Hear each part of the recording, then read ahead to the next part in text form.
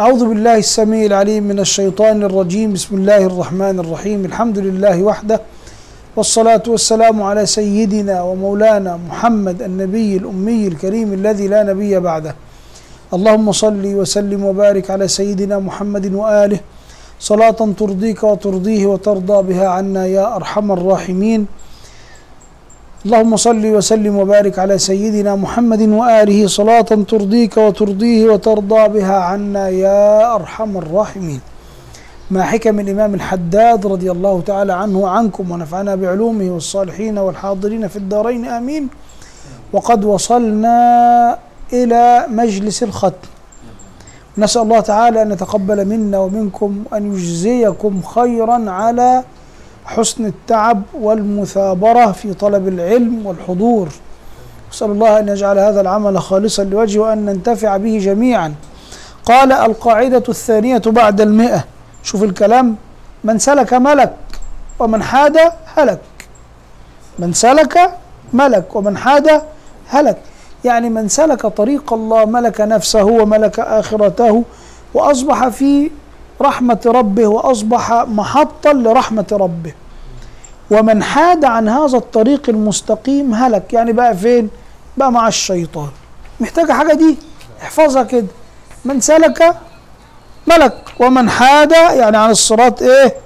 هلك. نسأل الله الهداية والتوفيق والسداد. شوف اللي بعدها القاعدة الثالثة بعد. المئة. قال من حفظ الفؤاد حفظ من الفساد. يا سلام على الجمال. شوف الجمال يا عم الشيخ عامر. من حفظ الفؤاد حفظ من الفساد. حفظ يعني إيه؟ اللي يحفظ قلبه. من إنه يتطلع إلى رؤية الحرام أو إلى أكل الحرام أو التشوف للحرام أو أو أو أو أو يحفظ نفسه منين؟ من الفساد. في كل حياته بقى. ليه؟ لأن قلبه بقى إيه؟ بقى سليم. وقال الله تعالى إلا من أتى الله بقلب سليم. يا سلام القاعدة الرابعة بعد إحنا خلاص هم وصلوا كلهم 106 القاعدة الرابعة بعد المئة من حفظ الجوارح أمن الجوائح. من حفظ الجوارح أمن الجوائح. الجوائح اللي هي الآفات. من نشب على طاعة الله ولم يستعملها في معصيته عند كبره هذه الأعضاء لا تعطل لا تتعطل لا تتعطل وإنما تكون متماسكة جيدة. بيقول لك سيدنا أبو شجاع رضي الله عنه وأرضاه اللي هو الفقيه الشافعي بلغ من العمر 100 وحاجة سنة وكان في صحة شاب عنده 22 سنة أو 25 سنة شاب فتي عضل كده ومجانس وحاجات كده وترابيس وفحل يعني. فقالوا له يا مولانا انت إزاي عديت المية وانت صحتك صحة شاب فتي سن العشرينات؟ يقول لهم تلك الأعضاء أو هذه الأعضاء حفظناها عن المعاصي في الصغر فحفظها الله لنا عن التلف في الكبر. هذه. هذه الايه هذه الأعضاء. حفظناها. أو هذه الجوارح حفظناها في الصغر عن الايه حفظناها عن المعاصي في الصغر فحفظها الله لنا عن التلف في الكبر. واخد بال حضرتك؟ وهكذا. يبقى أنت لما تحافظ على جوارحك ربنا يحافظ على إيه؟ على جوارحك لما تكبر. واخد بالك؟ إنما تضيعها كده عينك في النظر للحرام وإيدك في ضرب الناس تفتري على الناس وده ياخد له شلوت وده ياخد له بنية وده ياخد له رجل. إن شاء الله قبل سن 35 هتتشل وهيجي لك جلطة في إيدك ورجلك لأنك مفتري. وطالما أنت مفتري يبقى أنت ربنا هي إيه؟ هيعاقبك. إنما لما تسخر صحتك في قضاء حوائج الناس ربنا يزيدك على الصحة صحة وعلى البركة بركة. وربنا يجعلك من الصالحين يا ابني. القاعدة الخامسة بعد المئة وهي القاعدة قبل الأخيرة. قال كاد العاقل. كاد يعني بمعنى إيه؟ قرب كاد يعني قرب العاقل ألا يكون له عدو. ليه؟ لأنه عقله راجح عارف يحط إيه؟ فين؟ عقل ملوش إيه؟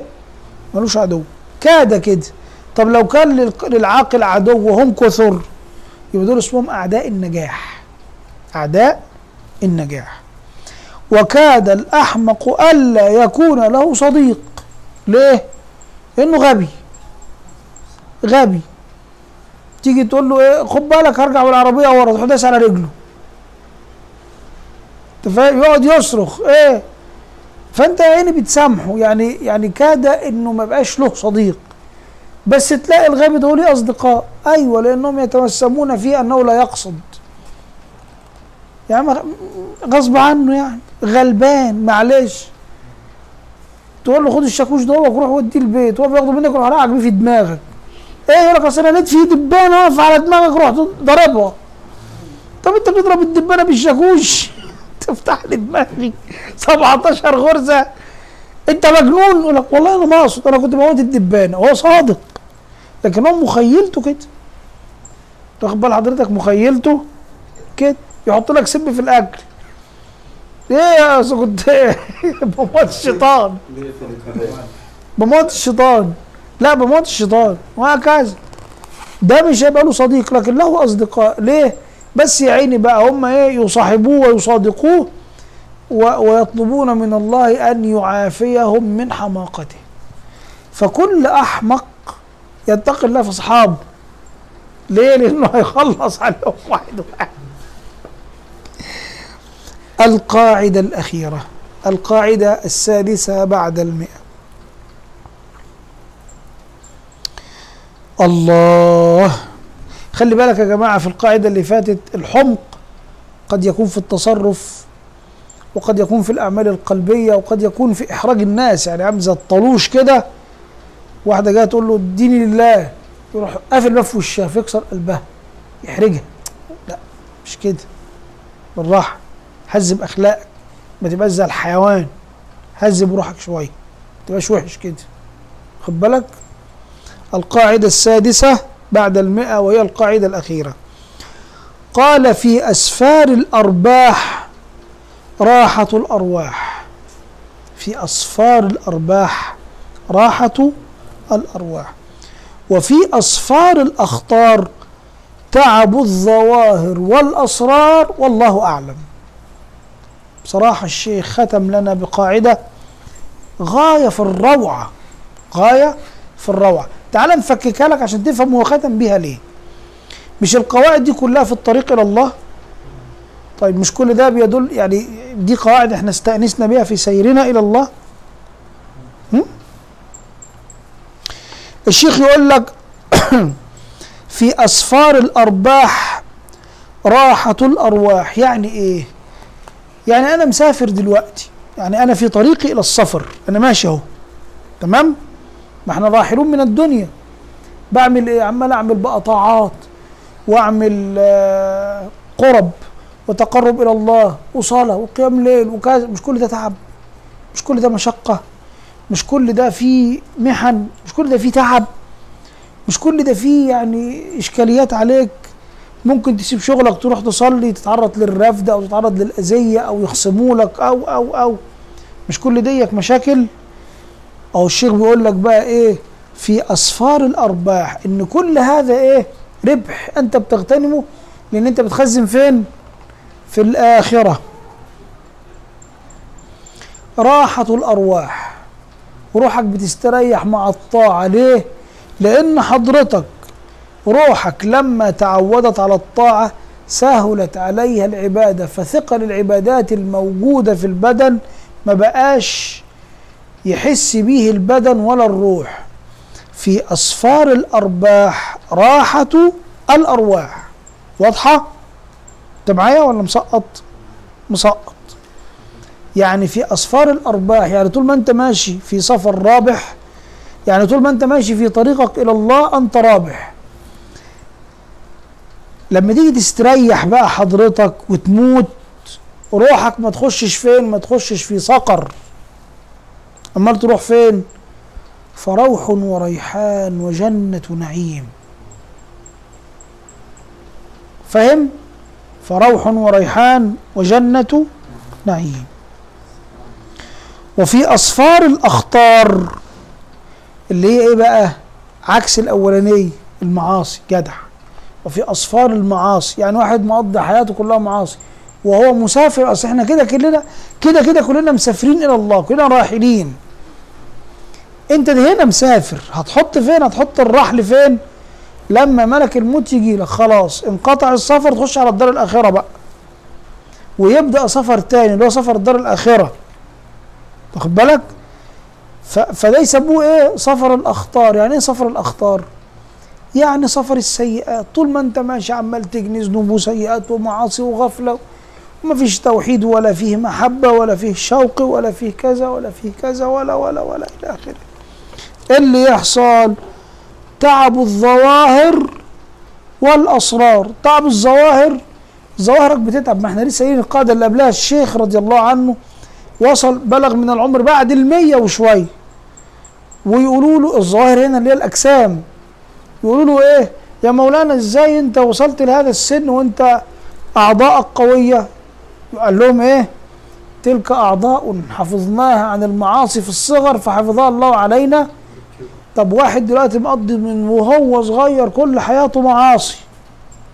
أول لما يجيب الأربعين تلاقي جسمه كله بقى يوجعه وتعب وقرف. ده تعب الإيه؟ الظواهر. طب تعب الأسرار؟ تعب القلب. قلبه دايما تعبان. ليه؟ انه عاصي مش مرتاح خايف لأنه ما عرفش ربنا. صليتوا على النبي؟ فتتقلب عليه كل أنواع الهموم والغموم. نسأل الله السلامة والإعانة. وقال رضي الله تعالى عنه والله أعلم. وأقول والله أعلى وأعلم وأعز وأكرم. وصلى الله وسلم وبارك على سيدنا محمد وآله. ربنا تقبل منا وعافنا واعف عنا واسترنا واجبرنا وسامحنا. واجعل ما قلنا وما تعلمنا وما علمنا وما علمنا وما على نبينا صلينا وما لك ذكرنا هدية منا مقبولة إلى روح سيدنا محمد وآل البيت أجمعين والعلماء العاملين ومشيخنا في الله تعالى أحياء منتقلين حاضرين بأرواحهم وغائبين. اللهم اغفر لنا ولإخواننا الذين سبقونا بالإيمان. ربنا ولا تجعل في قلوبنا غلا للذين آمنوا. ربنا إنك غفور رحيم. اللهم اجز عنا مشايخنا جميعا. ما هم أهله؟ اللهم جازهم بالخيرات خيرات وبالإحسان إحسان وبالعلم تقوى ومغفرة ورضوان وفي واحشرهم في جناتك جنات النعيم. اللهم تغمد برحمتك مولانا وسيدنا وشيخنا الإمام الحداد رضي الله تعالى عنه. اللهم أعلي قدره بما تعلمنا من كتبه. اللهم ارفع قدره بما نفعنا من علمه. اللهم اجزه خيرا اللهم تقبله عندك في الصالحين والشهداء والصالحين. وحسن أولئك- رفيقا اللهم اجزي خيرا. كل من ساعد على نشر هذه الحكم الحدادية سواء كانت مكتوبة أو مقروءة أو مسموعة برحمتك يا رب العالمين. اللهم اجعلها يوم القيامة حجة لنا لا علينا. اللهم اجعلها حجة لنا لا علينا. اللهم اغفر لنا بما قرأنا وما تعلمنا وما علمنا. اللهم اجعلها خالصة لوجهك. اللهم اكتب لنا ولها التوفيق والقبول والإحسان والسداد. برحمتك يا رب العالمين. اللهم انفعنا بها ظاهرا وباطنا واجعلها حجة لنا لا علينا. ونسألك يا أرحم الراحمين أن تأتي هذه الحكم يوم القيامة شهيدة لنا لا علينا. كما ندعوك بقرآنك أن يكون شاهدا لنا لا علينا. اللهم إنا نسألك كل ما يقربك في يقربنا إليك ويرضيك.